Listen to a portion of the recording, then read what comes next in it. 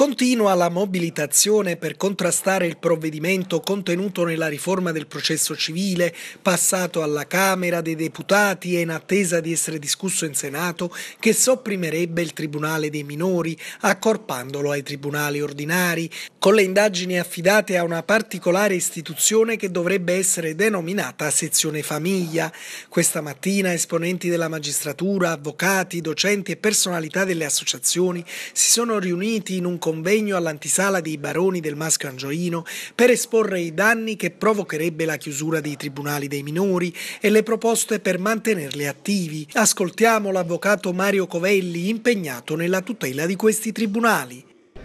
Il no è necessario, è un no deciso eh, perché la soppressione del Tribunale per i minorenni che ha funzionato in modo ottimale per ben 80 anni cambia completamente le prospettive eh, il procedimento a carico dei minori viene effettuato presso sezioni specializzate ma soprattutto manca una procura specializzata che possa perseguire prima che la finalità retributiva la finalità di recupero del minore.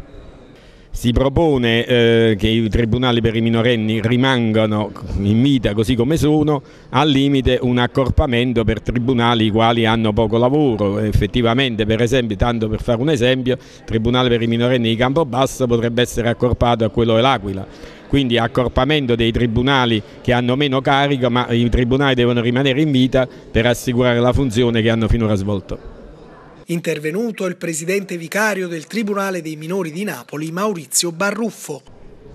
La legge è ancora in itinere, il nostro Parlamento eh, non l'ha ancora completamente licenziata e poi ci sarà una commissione che determinerà i veri passaggi di questa, di questa legge, di questo spalmamento, io così lo, lo, chiamo, del Tribunale per i minorenni nel Tribunale ordinario. Spalmare il Tribunale nel tribunale, dei minorenni nel Tribunale ordinario credo che sia una cosa molto pericolosa perché fa perdere tutta quella che è una cultura, una modalità di attuazione delle norme e di difesa e di tutela dei minori in un mondo che ha altri interessi e si muove in altre logiche come dire, è una piccola azienda che funziona che viene trasferita in una grande azienda che funziona peggio o in una maniera completamente con altre logiche, il che fa perdere ovviamente tutta quella che è una caratteristica, una, una um, capacità di un tribunale la cui eccellenza viene riconosciuta anche da tutta Europa.